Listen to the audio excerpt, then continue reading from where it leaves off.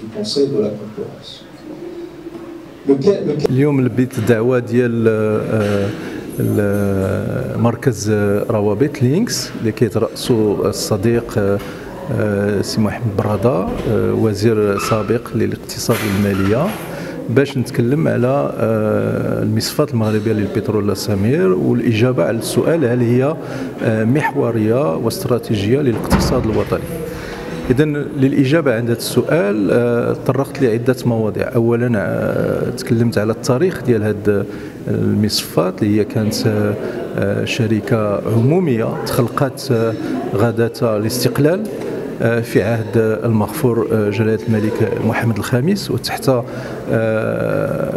القيادة ديال حكومة السي عبد الله إبراهيم وسي عبد الرحيم بوعبيد وهذه الشركة العمومية تنمات وكان واحد الازدهار ديال النشاط ديالها آه، مدة عدة عقود إلى آه، تاريخ آه، الخ- الخوصصة ديالها في 1997 ومنذ هذاك الوقت تم عدة خروقات في تسيير ديال هذه الشركة من طرف صاحب رأس المال. وكذلك كانوا أوجه قصور عدة. في آه، تسيير هذا في مراقبة آه، تسيير هذه هذه الشركة من طرف ادارات عمومية من طرف عدة آه، آه، آه، مؤسسات عمومية أو وزارات بما فيها وزارة الاقتصاد والمالية وزارة الطاقة والمعادن مديرية الجمارك إلى غير ذلك.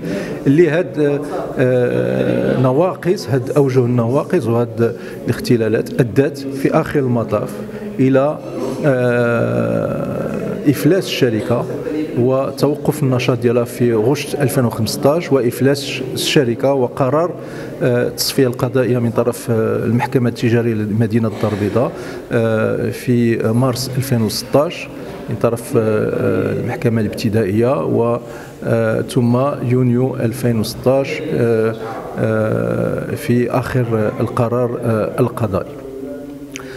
ثم تكلمت على آه، مشاكل قطاع المحروقات المغرب مشاكل ديال ارتفاع الأسعار المهولة اللي كتضرب القدرة الشرائية ديال المواطنين والقدرة التنافسية ديال المقاولات الصغرى والمتوسطة. وتكلمت على مجلس المنافسة لحد الآن غير قادر على الحسم في ملف ديال الشبهات آه، ديال تواطؤات غير قانونية في تركيبة الأسعار. باقي لحد الآن كنتظروا القرار النهائي ديال مجلس المنافسة بغض النظر عن النواقص ديال مجلس المنافسة في القوانين الأساسية اللي عاد تغيرت ولكن ما مشاتش في اتجاه السليم بغض النظر كذلك عن نقاط ضعف ديال الأعضاء ديال مجلس المنافسة اللي ما تمش التغيير ديالهم وتكلمت كذلك على آه، آه، سبل إيجاد حلول آه، كفيله باش تحمي القدرة الشرائية ديال المواطنين القدرة التنافسية ديال المقاولات وكذلك باش تقوي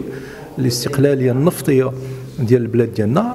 عبر إعادة تشغيل المصفات المغربية للبترول. وأخيرا وليس آخرا تكلمت على الرهانات الدولية اللي كتعلق آه، بقطاع المحروقات وبالقطاع الطاقي عامة بما فيها القطاعات ال- ال- الطاقات الأحفورية والطاقات المتجددة بما فيها الطاقة الشمسية الطاقة الريحية الهيدروجين آه، الطاقة ديال الهيدروإلكتريسيتي إلى غير ذلك من طاقات آه، آه، متجددة.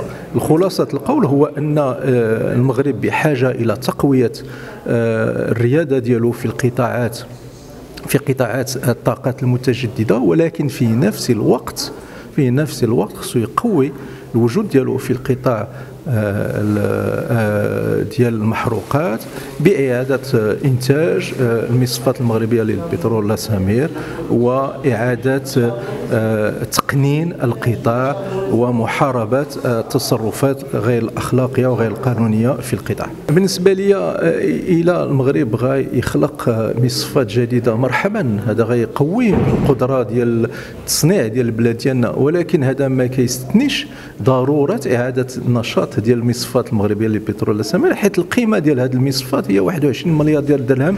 اليوم كانت آه، قبل سنوات 30 مليار ثم هبطت ل 25 ثم ثم 22 اليوم 21 مليار حسب التقييم ديال المحكمة التجارية ديال الدار البيضاء.